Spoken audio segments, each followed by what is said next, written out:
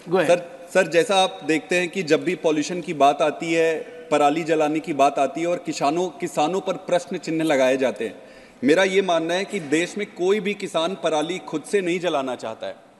जब वो पराली जलाता है तो सबसे पहले नुकसान तो उसको स्वयं को और उसको परिवार को होता है।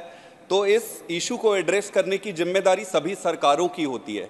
मेरा प्रश्न ये है सर आपके माध्यम से माननीय मंत्री जी से कि पराली को ना जलाने के लिए जो कॉम्पनसेशन देनी बहुत ज़रूरी है। यही एक ऐसा तरीका है जिससे आप रोक सकते हैं। पंजाब सरकार ने ये ऑफ़र दिया है कि प्रति एकड़ पराली न जलाने के लिए एक हज़ार रुपये कॉम्पनसेशन पंजाब सरकार की तरफ़ से और केंद्र सरकार से मांगा है कि पंद्रह सौ रुपये अगर केंद्र सरकार भी उस पर एड ऑन कर दे तो ये पर्याप्त राशि होगी और ये एक बहुत अच्छा प्रयास होगा तो क्या केंद्र सरकार इसके लिए रेडी है और उनका इस पर क्या प्रयास है, ये मेरा पहला प्रश्न। पराली को जलाने से रोकने के लिए अगर लॉन्ग टर्म और सस्टेनेबल आंसर खोजना है तो क्रॉप डाइवर्सिफिकेशन एक बहुत फंडामेंटल और क्रिटिकल पैरामीटर है।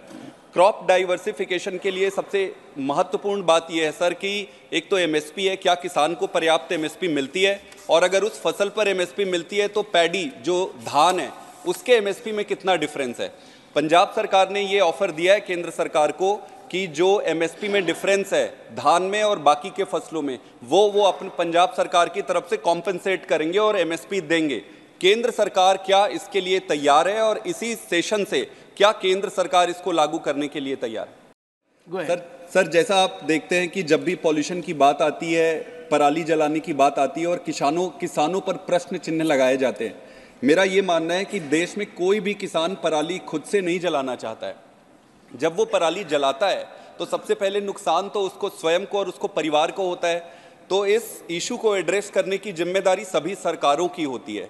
मेरा प्रश्न ये है, सर, आपके माध्यम से माननीय मंत्री जी से, कि पराली को ना जलाने के लिए जो कॉम्पनसेशन देनी बहुत ज़रूरी है। यही एक ऐसा तरीका है जिससे आप रोक सकते हैं। पंजाब सरकार ने ये ऑफ़र दिया है कि प्रति एकड़ पराली न जलाने के लिए एक हज़ार रुपये कॉम्पनसेशन पंजाब सरकार की तरफ़ से और केंद्र सरकार से मांगा है कि पंद्रह सौ रुपये अगर केंद्र सरकार भी उस पर एड ऑन कर दे तो ये पर्याप्त राशि होगी और ये एक बहुत अच्छा प्रयास होगा। तो क्या केंद्र सरकार इसके लिए रेडी है और उनका इस पर क्या प्रयास है, ये मेरा पहला प्रश्न। पराली को जलाने से रोकने के लिए अगर लॉन्ग टर्म और सस्टेनेबल आंसर खोजना है तो क्रॉप डाइवर्सिफिकेशन एक बहुत फंडामेंटल और क्रिटिकल पैरामीटर है। क्रॉप डाइवर्सिफिकेशन के लिए सबसे महत्वपूर्ण बात यह है, सर, कि एक तो एमएसपी है, क्या किसान को पर्याप्त एमएसपी मिलती है? और अगर उस फ़सल पर एमएसपी मिलती है तो पैडी, जो धान है, उसके एमएसपी में कितना डिफरेंस है? पंजाब सरकार ने ये ऑफ़र दिया है, केंद्र सरकार को, कि जो एमएसपी में डिफरेंस है, धान में और बाकी के फ़सलों में, वो वो अपने पंजाब सरकार की तरफ़ से कॉम्पनसेट करेंगे और एमएसपी देंगे।